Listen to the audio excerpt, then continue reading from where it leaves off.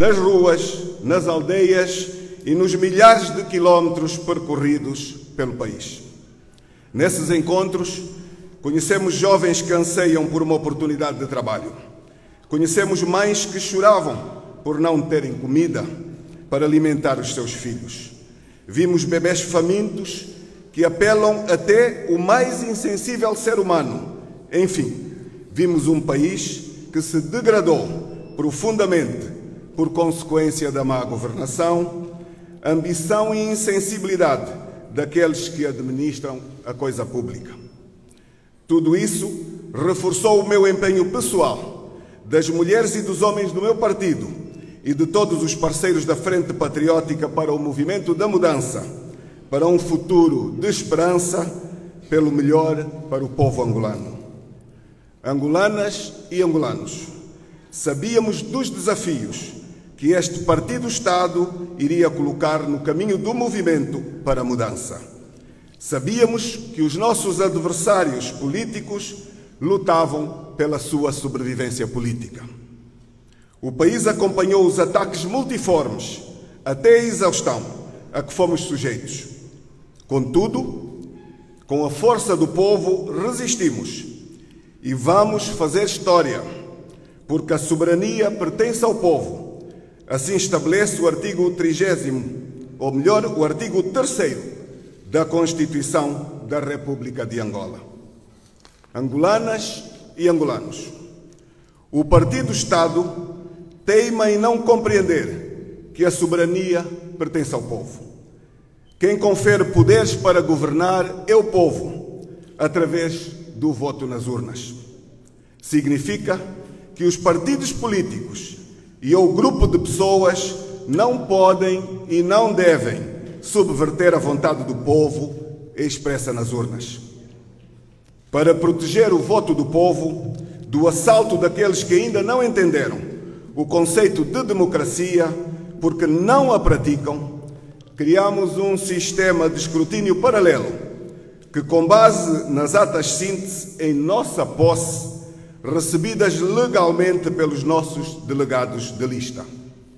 As discrepâncias dos mandatos atribuídos à UNITA pela Comissão Nacional Eleitoral, CNE, são brutais, comparadas aos que resultam do escrutínio das atas em nossa posse e, como é óbvio, em posse da Comissão Nacional Eleitoral, que as produziu e as afixou.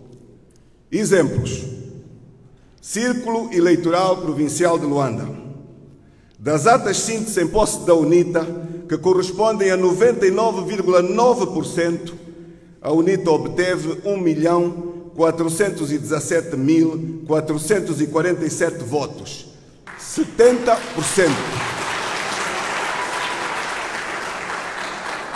Correspondem a 70% dos votos, contrariamente a 1.230.213, que corresponde a 62,59% dos votos que a CNE atribui à UNITA. Constata-se uma diferença de 187.234 votos, a que corresponde um acréscimo de mandatos para a UNITA.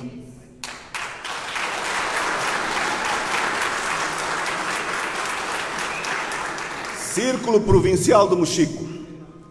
Não obstante a contagem paralela não ter ainda terminado, são de assinalar os seguintes factos. A. Tendo a Comissão Nacional Eleitoral já escrutinados 95,22% dos votos validamente expressos nas urnas, atribui apenas 45.058, que correspondem a 26,62% dos votos para a UNITA. Porém, a UNITA escrutinou até ao momento 79% dos votos vertidos nas atas síntese e apurou 61.378 votos, a que corresponde também uma diferença de mandatos. Curiosamente, da atrapalhada da Comissão Nacional Eleitoral, atribui-se dolosamente um mandato apenas à UNITA, quando o correto seriam dois mandatos. Círculo Eleitoral do Kwanza Sul.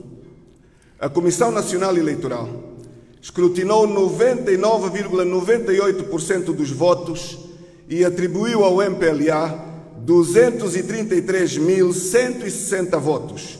Porém, a UNITA escrutinou 100% das atas síntese e apurou 154.628 votos para o MPLA. Constata-se uma diferença de 78.532 votos. Votação abusiva e ilegal.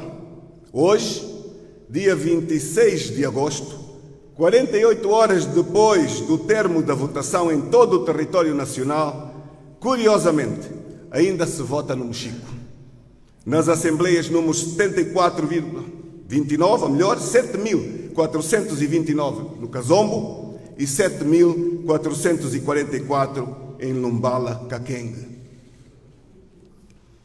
Face a esta realidade fática e verificável, não existe a menor dúvida em afirmar com toda a segurança de que o MPLA não ganhou as eleições do dia 24 de agosto.